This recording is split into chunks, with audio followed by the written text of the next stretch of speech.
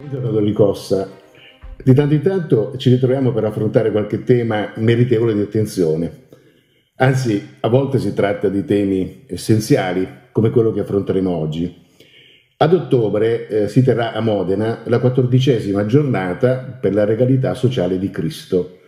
Perché questa giornata, Don Francesco? Si tratta di, prima di tutto, di rendere onore e gloria appunto a Cristo Re,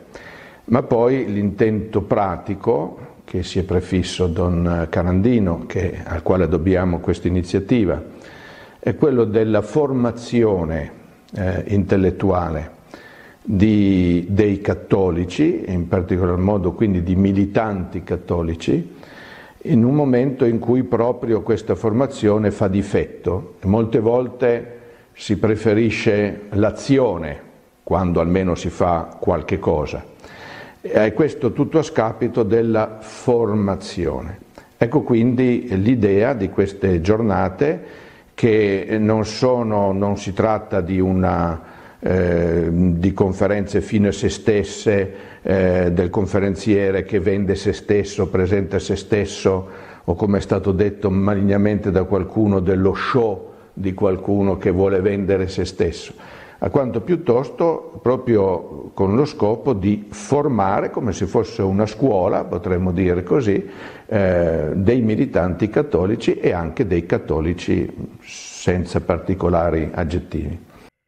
Mi scusi la domanda banale, ma cosa vuol dire esattamente regalità sociale di Cristo? Ecco, Gesù Cristo è re, quindi c'è la regalità di nostro Signore Gesù Cristo. Già il termine Cristo significa questo, vuol dire che è re. Eh, anche sulla croce la sentenza di Ponzio Pilato testimoniava in un documento pubblico che Gesù era re. Ora però si aggiunge questo aggettivo sociale per significare che Gesù Cristo non è solamente re eh, da un punto di vista sovrannaturale e spirituale, che senza dubbio è l'aspetto principale, ma deve regnare anche sulle società. Ecco, quindi è l'influsso benefico che è la regalità di nostro Signore Gesù Cristo nel suo aspetto di potere legislativo, di potere coercitivo, di potere giudiziario, eccetera, insomma di tutti i poteri propri alla vera regalità che deve avere eh, quindi non solo nell'ambito della vita della grazia, ma anche di riflesso, di conseguenza nella vita sociale degli uomini e quindi del vivere eh, in comune degli uomini, quindi della società degli stati e delle nazioni. Questa dottrina è stata mirabilmente riassunta da Papa Pio XI nell'enciclica Quas Primas. Allora la regalità sociale di Cristo ma si concilia con lo Stato laico? Si oppone. Si tratta proprio di un'opposizione totale, mm, una contraddizione totale, dire regalità sociale di Cristo e Stato laico vuol dire due cose che si escludono. Se c'è lo Stato laico c'è la negazione della regalità sociale di Cristo, se si dice regalità sociale di Cristo c'è la negazione della laicità dello Stato. E quando sentiamo eh, anche alcuni cattolici dichiararsi favorevoli allo Stato laico, cosa dobbiamo pensare? Purtroppo oggi non si parla solo di cattolici, tra virgolette, ma addirittura di chi occupa eh, praticamente tutte le sedi episcopali, inclusa la più alta, perché viene proclamata questa cosiddetta laicità positiva che purtroppo rimane pur sempre laicità. Eh, è proprio un motivo in più per, per eh, avere queste giornate della carità sociale di Cristo, perché si tratta non solo di combattere come nel passato gli errori, per esempio, dei liberali, che per primi hanno negato la legalità di Cristo e hanno voluto la laicità dello Stato, poi non sono gli unici perché tutte le ideologie che sono venute dopo hanno adottato questo medesimo principio, ma si tratta anche di far tornare i cattolici stessi a, all'insegnamento e alla dottrina della Chiesa che ignorano o addirittura che negano e che è molto peggio eh, in maniera così triste uniformandosi alla mentalità del mondo. Che relazione c'è, che collegamento c'è, Don Francesco, tra la regalità sociale di Cristo e la dottrina sociale della Chiesa? La legalità sociale di Cristo è un po' il criterio, è la luce che dirige che governa tutta la dottrina sociale della Chiesa. La dottrina sociale della Chiesa viene a volte identificata con quella dottrina della Chiesa che parla di questioni economico-sociali. In realtà è molto più vasta, tratta anche di questo, a tutti viene in mente per esempio l'enciclica di Leone XIII Rerum Novarum, poi tutte le altre sono venute in seguito, ma è molto più ampia, cioè riguarda tutto quello che concerne il vivere dell'uomo in società. E quindi qualunque campo può essere visto e giudicato alla luce della regalità di Cristo, cioè Cristo è il criterio eh, che da un punto di vista della fede, poi c'è anche l'ausilio della ragione per coloro che sono privi della fede, allora bisognerà partire dalla retta ragione, ma Cristo è il criterio, la luce è il punto di partenza, l'alfa, il punto d'arrivo, l'omega eh, di tutte le questioni sociali, cioè che concernono il, la vita dell'uomo in società, dalla famiglia ai rapporti tra la Chiesa e lo Stato, le funzioni dello Stato, le questioni economiche, le questioni di giustizia in generale, della virtù della giustizia. Quest'anno, in occasione della quattordicesima giornata per la regalità sociale di Cristo che abbiamo detto si terrà a Modena, quali temi verranno affrontati, Don Francesco? Allora, eh, forse con una modalità che non è così importante, ma molti lo fanno e lo facciamo anche noi, ci ispiriamo a volte a degli anniversari come uno spunto per poter trattare di temi che possono essere trattati benissimo indipendentemente da questi anniversari. Allora nel 2019 abbiamo pensato a quello che accadde cent'anni fa e che ha avuto una così grande importanza anche per la, la Chiesa e per il movimento eh, cattolico. E abbiamo scelto tre anniversari, due molto noti e di cui si parla più o meno sui giornali, nei libri, eccetera e uno invece ignoto praticamente a tutti e che però quello a cui noi siamo particolarmente affezionati. Quindi i due anniversari noti, se ne potrebbero trovare molti altri, eh, quelli due che abbiamo scelto e non possiamo trattare di tutto, sono la fondazione nel 1919, quindi a Milano, piazza San Sepolcro, dei fasci di combattimento e quindi la nascita del fascismo, che poi ha avuto uno sviluppo ben diverso da quello che era alla nascita, e nello stesso tempo un argomento del quale invece abbiamo già trattato, perché il primo invece non abbiamo trattato mai, e il secondo invece ne abbiamo già trattato nel corso della regalità sociale, ma è così importante proprio perché riguarda eh, quello a cui ha accennato lei, cioè l'opposizione dei cattolici alla regalità di Cristo. Quindi la fondazione del Partito Popolare di Don Sturzo, che riprendeva però la democrazia cristiana di Don Murri, che era precedente. Ecco, qui il movimento cattolico incominciò a deviare, eh, adottando esplicitamente la, il principio della aconfessionalità. Ecco, la democrazia cristiana o il Partito Popolare prima e dopo si sono voluti un partito aconfessionale che mirava a, a stabilire il principio della aconfessionalità, tutto quello contro cui combatté San Pio X durante il suo pontificato. E allora ecco la terza data, il terzo anniversario, quello che ci è più caro e che però è il più eh, ignoto, la fondazione di una rivista, Fede e Ragione. Eh, fu l'opera di Don Paolo Tommaso de Tot,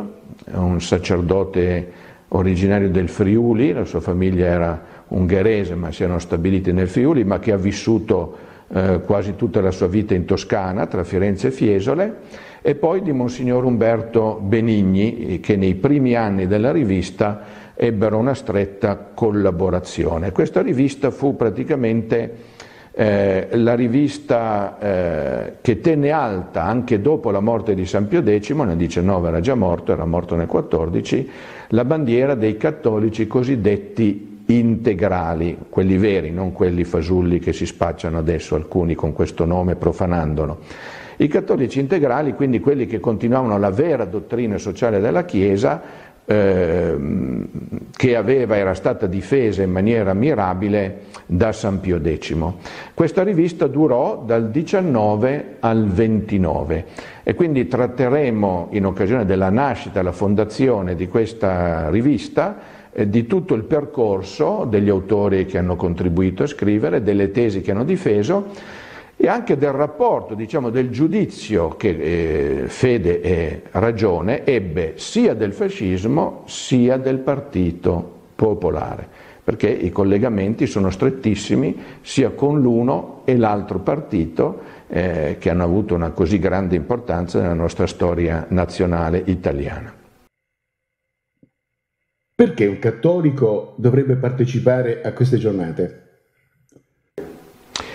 Perché i cattolici hanno bisogno di formazione, formazione che purtroppo non viene più data loro, eh, ahimè, nelle parrocchie, che dovrebbe essere il luogo normale di formazione, nelle scuole cattoliche, nelle università cattoliche, dove il cattolico oggi subisce più che una formazione una deformazione. Allora ecco che noi ci impegniamo, diciamo quasi come supplenza, a fare quello che gli altri non fanno più o addirittura che fanno al contrario, al rovescio. E penso che non è necessario, indispensabile per sa- salvezza delle anime, eh, diciamo, eh, interessarsi a questi temi specifici. Eh, chiaramente la conoscenza del catechismo, delle verità fondamentali della fede cattolica e poi della vita eh, dello spirito, spirituale, che noi cerchiamo eh, di far sviluppare per esempio con gli esercizi spirituali o con altre iniziative,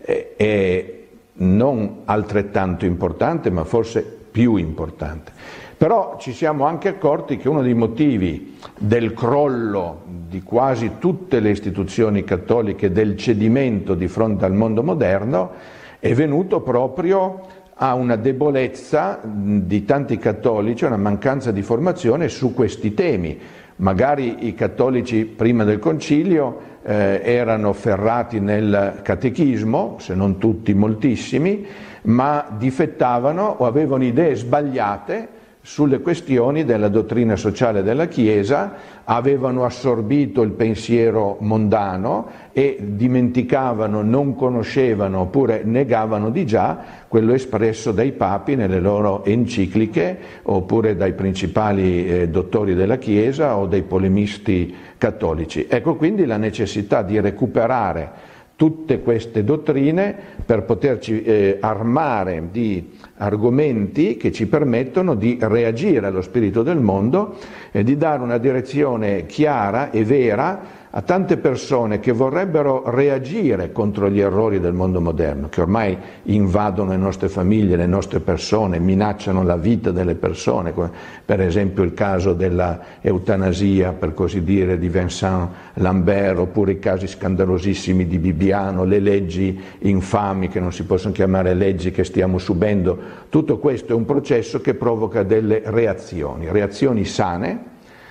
anche se inferiori a quello che dovrebbero essere, ma reazioni sane, di persone però che nella maggior parte dei casi non sa da dove vengono questi mali e non sa che cosa bisogna fare per reagire veramente, hanno bisogno di idee chiare. Allora noi cerchiamo di aiutarli a trovare un tesoro che non è il nostro, la nostra dottrina, ma è della Chiesa, è la dottrina della Chiesa che oggi viene purtroppo chiusa eh, come in cassaforte perché non c'è più nessuno che spezzi il pane a delle anime che ne hanno fame, ne hanno sete, ne hanno bisogno.